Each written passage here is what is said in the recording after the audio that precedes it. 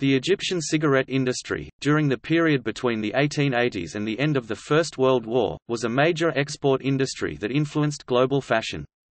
It was notable as a rare example of the global periphery setting trends in the global center in a period when the predominant direction of cultural influence was the reverse, and also as one of the earliest producers of globally traded manufactured finished goods outside the West.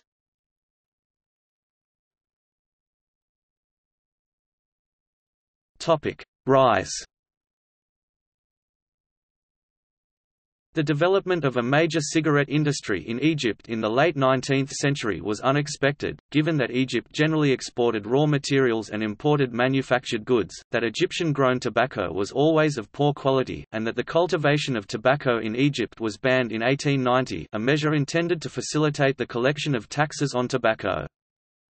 One reason for the development of the industry was the imposition of a state tobacco monopoly in the Ottoman Empire, a measure designed to increase Ottoman government revenue. This resulted in the movement of many Ottoman tobacco merchants, usually ethnic Greeks, to Egypt, a country which was culturally similar to and was in fact arguably de jure a part of the Ottoman Empire but outside the tobacco monopoly as a result of its de facto occupation by the United Kingdom. The founder of the industry was Nestor Gianaclis, a Greek who arrived in Egypt in 1864 and in 1871 established a factory in the Kari Pasha Palace in Cairo. After British troops began being stationed in Egypt in 1882, British officers developed a taste for the Egyptian cigarettes and they were soon being exported to the United Kingdom. Gianaclis and other Greek industrialists such as Ioannis Kyriazis of Kyriazi Frere successfully produced and exported cigarettes using imported Turkish tobacco to meet the growing world demand for cigarettes in the closing decades of the 19th century. Egyptian cigarettes made by Gianaclis and others became so popular in Europe and the United States that they inspired a large number of what were, in effect, locally produced counterfeits. Among these was the American Camel brand, established in 1913, which used on its packet three Egyptian motifs, the camel, the pyramids, and a palm tree. Fellow Greeks in the United States also imported or produced such cigarettes. For example, S. Anargyros first imported Egyptian deities and then produced Murad, Helmar and Mogul, and the Stefano brothers produced Ramses II. Topic decline Tastes in Europe and the United States shifted away from Turkish tobacco and Egyptian cigarettes towards Virginia tobacco, during and after the First World War. What remained of the Greek-run tobacco industry in Egypt was nationalized after the Egyptian Revolution of 1952. Egyptian-made cigarettes were thereafter sold only domestically, and became known for their poor quality and low price. Cigarettes containing Turkish tobacco which includes those varieties grown in what is now Greece exclusively continued to be manufactured and sold as Turkish cigarettes in the US brands Murad, Helmar and others, the UK Sullivan and Powell, Benson and Hedges, Fribourg and Treyer, Balkan Sobranie and Germany where the so-called Orient Zigaretten had the major market share before the Second World War. Today, Turkish tobacco is a key ingredient in American blend cigarettes Virginia, Burley, Turkish introduced with camels in 1913.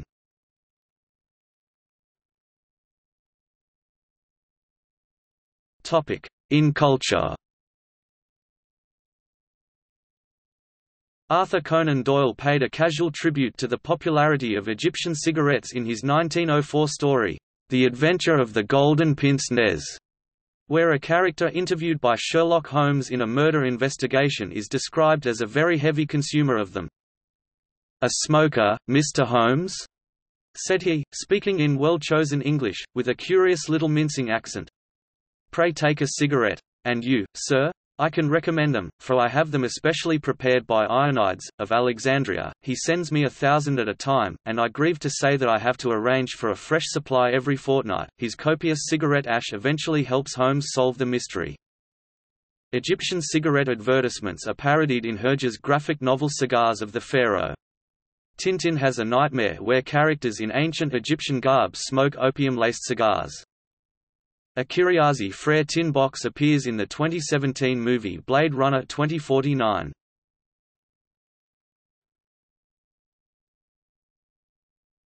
Topic. See also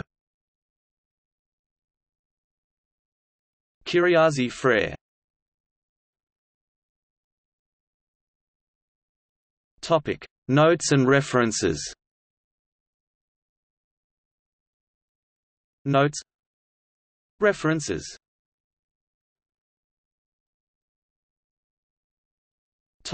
Sources and bibliography